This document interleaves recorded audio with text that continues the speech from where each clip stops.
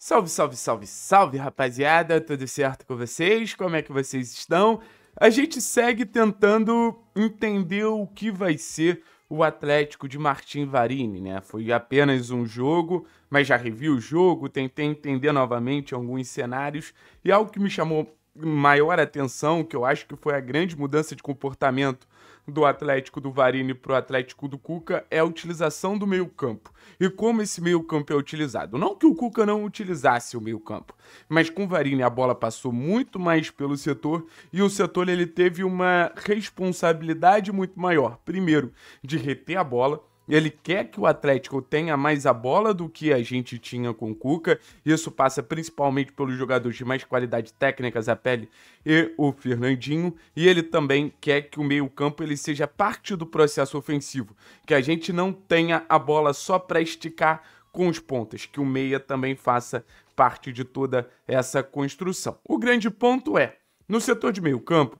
é, pelo menos no primeiro jogo, a gente teve Eric, Fernandinho, Zapelli e Christian.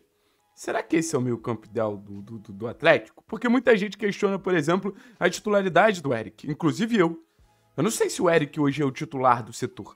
Eu acho que a gente tem, que entender muito bem cada função, a gente tem que entender muito bem a, a responsabilidade de cada um para definir. Ah, esse é o melhor nome, aquele é o melhor nome. É, tem jogadores em alta, tem jogadores em baixa, tem jogadores que se sobressaem independente do cenário. Então, a gente vai mudar é, de, de, de aba aqui para a gente ir lá para o campinho, para a gente debater dentro da formação tática do Atlético e da demanda e responsabilidade de cada jogador qual é o meio campo ideal para esse Atlético do Varini, que vai ser um Atlético muito baseado na própria estrutura do meio campo. Campinho na tela, vamos lá, vamos começar a mexer as pecinhas.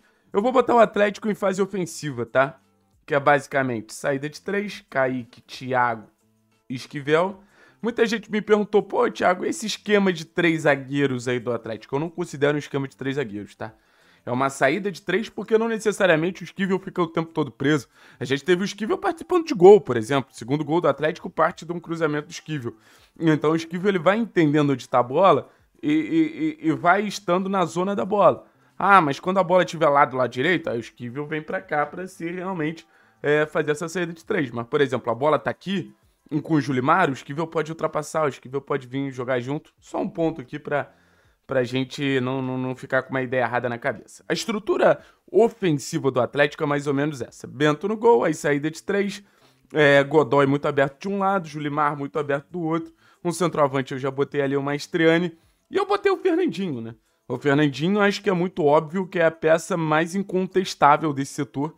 Eu acho que o setor ele só tem tanto protagonismo, só tem tanto potencial, só tem tanta capacidade de fazer esse processo de retenção de bola, quanto também de ser um setor mais criativo, graças ao Fernandinho, que é a principal referência, o principal jogador do Atlético. Então, eu acho que a gente precisa também ter um meio-campo que jogue junto com o Fernandinho, não deixe o Fernandinho tão sobrecarregado mas também que tem a capacidade competitiva de proteger o Fernandinho e, e tirar a responsabilidade defensiva dele, sabe?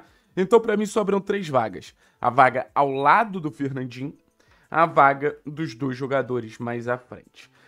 Pensando que o Atlético ele marca num 4-4-2 e ataca num, 4, num 3-2-4-1, esse jogador ele pode ser tanto um meia, deixar o corredor aqui pro Godoy, esse jogador pode ser um ponta, dividir aqui o corredor com o Godoy e você centralizaria esse outro meia. Esse jogador pode ser o segundo atacante com liberdade. No primeiro jogo acabou sendo Christian.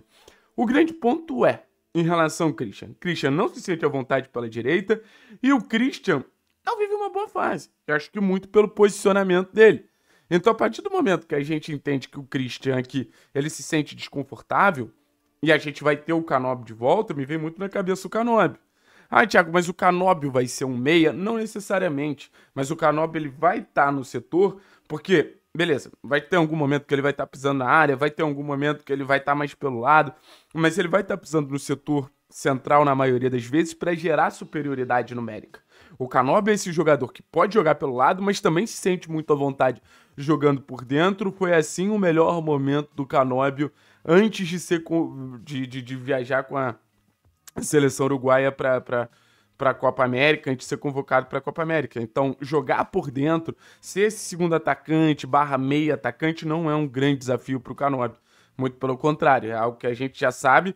E me vem muito aquela ideia do aquela ideia do Klopp, né? Que independente da posição, sempre tem que ter quatro jogadores por dentro. Então você vai ter um jogador de boa capacidade de pressão, boa capacidade de disputa, bom jogo sem bola e também de muita intensidade de movimentação, liberdade de movimentos por dentro. Então acho que nesse sentido o Canóbio não sentiria muito e vou te falar, se não fosse o Canóbio, eu pensaria até no Nicão, porque acho que o Nicão também faz esse movimento de sair de fora para dentro com qualidade, um jogador que atua bem numa faixa central, tem esse passe em diagonal buscando a bola lá, no, lá na ponta esquerda. É um cara que, que, quando precisa se aproximar da área, sabe também, pisar na área. Então, acho que, que nesse cenário, reserva do Canobre não seria nem o Christian, seria o Nicão. Sobram duas vagas, né? De camisa 10 e desse volante ao lado do Fernandinho. Desse volante ao lado do Fernandinho, acho que a disputa ela é muito clara entre Eric e Gabriel. Eric é, é, parece ser o titular da posição, independente de qualquer coisa, mas eu sou contra essa escalação do Eric. Eu acho que o Gabriel, que não me agradou no jogo contra o Bahia, é importante deixar isso claro. Quando o Sarrafo subiu um pouquinho, eu não gostei do jogo do Gabriel, mas acho que o momento do Eric, principalmente em jogo sem bola, é de entregar menos que o Gabriel. Hoje eu acho que a presença do Gabriel traz uma segurança maior para o setor. E lembra que eu disse para vocês que esse cara ele tem que ter responsabilidade de, também de correr pelo Fernandinho? E eu acho que o Gabriel, até em dinâmica com bola, ele vem melhor. O Eric foi bem contra o Ipiranga. Mas se tem um jogador que eu espero para assumir essa posição nesse ano e, e para os próximos anos, precisa se recuperar, porque a condição que ele teve afetou muito a parte física dele. Mas eu acho que hoje, Gabriel, Filipinho e Eric, que é essa disputa de camisa 5, eu apostaria minhas fichas no Filipinho.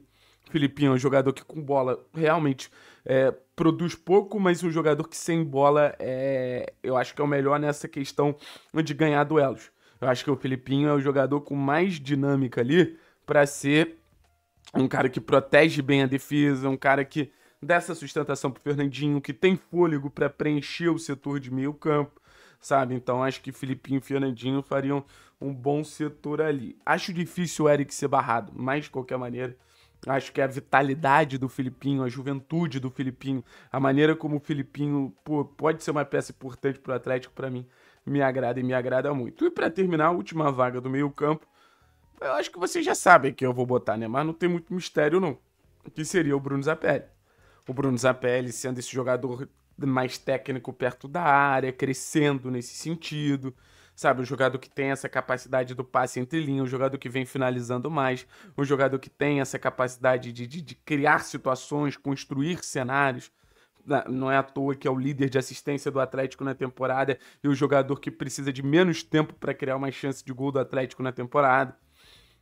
E assim, é, junto a Fernandinho junto a Canóbio, são os jogadores que têm os melhores números de, de, de, construção. Então também não é nenhum segredo você ter os, os, seus jogadores mais criativos num setor tão importante. O Filipinho seria uma peça relevante para a gente ter ali mais um jogador de pegada. Então, se você parar para pensar, nesse cenário, você pode ter Filipinho sendo substituído é, pelo Gabriel, o Fernandinho sendo substituído pelo Eric, o Zapelli sendo substituído pelo Christian, o Canó pelo Nicão. Acho que você fica com, com o meio titular e o meio reserva muito bem definido, sabe? E você deixa Godoy e Julimar na amplitude. Jogadores abertos que pontualmente podem complementar o setor mas acho que você tem uma soma de posições muito interessante que faz seu meio-campo ganhar força, né? Você tem a capacidade de pegada do Filipinho, a capacidade de controle de ser um ritmista do Fernandinho, a capacidade criativa do Zapelli mais perto do gol e a intensidade do Canobi. Um vai complementando o outro, né? O, o Canobi não tem tanta qualidade com a bola que o Zapelli tem, mas o Canobi tem a intensidade que o Zapelli não tem. O Fernandinho tem a capacidade de ditar ritmo, fazer boas transições que o Filipinho não tem, mas o Filipinho corre pelo Fernandinho e assim vai. Você vai potencializando um com a presença do outro e a busca que o Atlético tem de um coletivo forte. Beleza, rapaziada? Eu acredito que esse é o, é, é o melhor cenário para um setor que vai ser muito utilizado. É importante bater nessa tecla.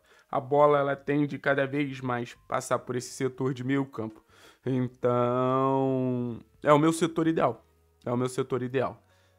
com Canóbio jogando por dentro. Valeu, pessoal? Tamo junto, é nóis. Forte abraço. Tchau, tchau. Até o próximo conteúdo.